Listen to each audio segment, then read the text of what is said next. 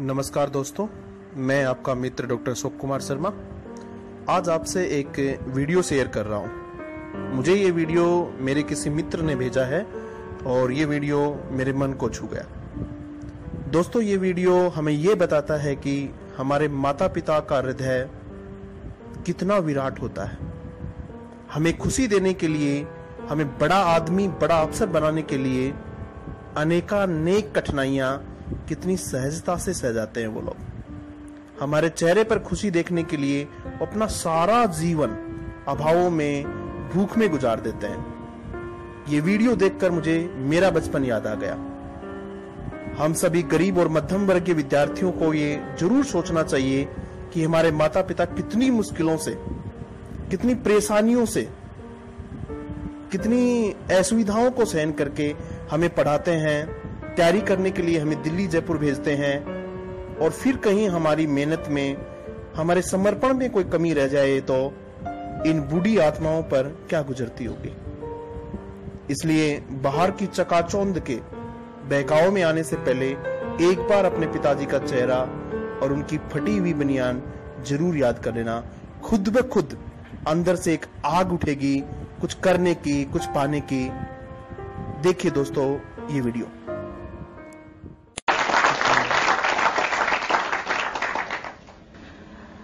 संघर्ष हमारे जीवन में बहुत ज़्यादा रहे हैं, लेकिन हमारी पढ़ाई को लेके हमारे बाबूजी ने कभी भी मतलब है कि कोई समझौता नहीं किया। उसके लिए उन्हें जो भी करना पड़ा। एक समय ऐसा था कि रहने के लिए घर नहीं था।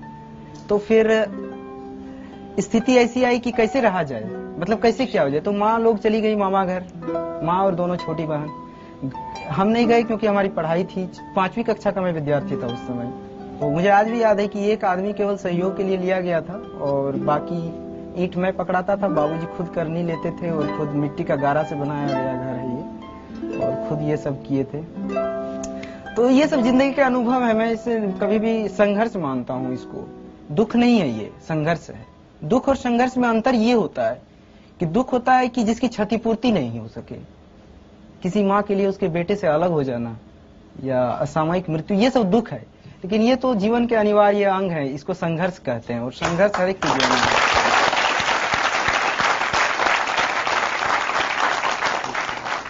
पिता ने आपको पढ़ाने के लिए अपने खेत बेचे भी हैं? जी हाँ हमारी 80 प्रतिशत खेत बिक चुके हैं।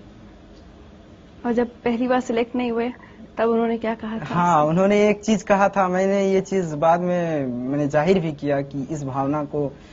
तो उन्होंने कहा था कि हम बोले कि बाबूजी पैसा कहाँ से आएगा? हम ट्यूशन पढ़ाएँगे मुखर्जी नगर में या यहाँ पर मिल जाते हैं यहाँ पर। बोले कि नहीं तुम ट्यूशन मत पढ़ाना और तुम अपनी पूरी पढ़ाई जो है अपने पढ़ाई पर ध्यान दो। धूप में मत चलना ऑटो में चलना क्योंकि धूप में चलोगे तो थक जाओगे और पढ़ाई पर इसका बुरा प्रभाव पड़ेगा। अरे तुम्हारे लिए तो हम अपनी किडनी तक बेच देंगे। तो ये एक ऐसी बात थी जो मतलब है कि इस तरह की ये भावना इतनी महान है कि इस भावना के कारण हम कभी भी मतलब अपनी पढ़ाई अपनी कमिटमेंट से पीछे नहीं हटे। एक बात बताइए आज अगर आपके पिता आपके सामने खड़े हों तो आप उनसे क्या कहना चाहेंगे? देखिए मेरे बाबूजी तो अभी मेरे गाँव में हैं। और शायद अगर इस प्रोग्राम को वो देख रहे होंगे तो मैं उनसे यही कहूँगा कि मेरी सफलता असफलता से अलग आपके बेटे होने में मेरी सार्थकता है और बस इसी सार्थकता को जीवन भर महसूस करना चाहिए।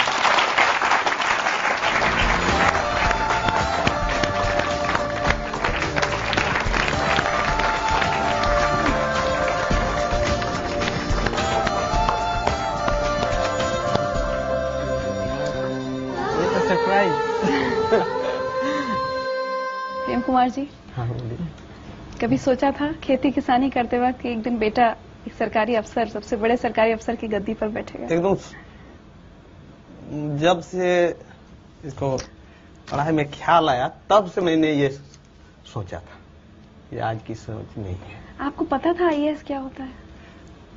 आईएएस क्या होता है ये पता नहीं था। लेकिन अफसर जो होते हैं मेरे जिला के हाँ। उसको तो देखे थे। हाँ सही बात है। कभी अपने बेटे से ये नहीं कहा कि अरे तुम नहीं कर पाओगे तुम कहा मैं मैं नहीं तुम्हारा खर्चा पढ़ाई का उठा पाऊँगा? मैं कैसे कह दूँ? वो कभी नहीं सोचा। मैंने खर्चा उठाने के लिए तैयार था। मेरे पास ज़मीन थी। ज़मीन बेच कर देते। मेरे पिताजी ने मुझे मरने के बाद दिए। अब वो ज़मीन में इसको देता मरने के बाद। तो ये मैंने सोचा कि मरने के बाद क्यों मैं दूँ? अब ये दे दे। और रहेगा तो बेटा का और नहीं रहेगा तो बेटा का। उधर देखिए। सिंगोजित बेटा कैसे हो? आप खाने पाने के ध्यान दीजिए। आप हम्म, तुम्हारे लिए गुड़ रोटी बनाई है। दिन से ज़्यादा खाना पीना का ध्यान दीजिए। आज तुम्हारे लिए हम दुल्हन खज के रखे हैं। रिश्ता तय हुआ है। खाना आपको तैयारी गुड़ रोटी है।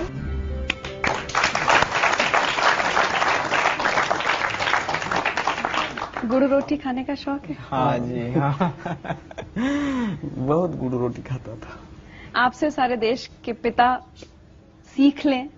एक मिसाल कायम की है आपने कि किस तरह से एक पिता अपने बेटे से ये तक कहता है कि मैं ये नहीं कहेंगे कि कोई अपनी किडनी बेचे, लेकिन आपने एक मिसाल कायम की है कि अपना सब कुछ कुर्बान कर बेटे को पढ़ाया, खेत बेचे, आज ज़िंदगी लाइफ की तरफ़ से आपको सम्मानित किया जा रहा है।